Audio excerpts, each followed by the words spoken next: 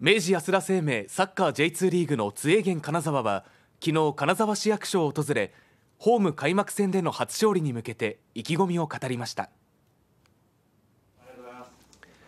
金沢市役所を訪れたのは津英源金沢の西川圭司 GM や柳下正明監督。白井優斗キャプテンなど4人です。西川 GM は金沢市の村山市長に対し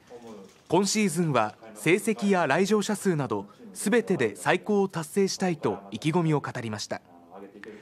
津英源金沢は開幕戦から2連敗していてホーム開幕戦となるあさっての町田ゼルビア戦で初勝利を目指します。